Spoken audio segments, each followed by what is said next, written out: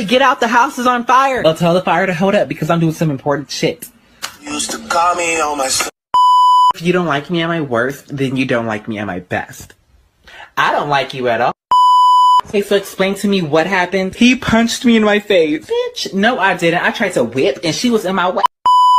Um, do you have a pencil by any chance? No, but I have a knife. Wh- What? And I know how to cut a bitch. I look so ugly today, like I do not want to go. What the hell? No, you look really cute. I know, I just wanted to hear you say it.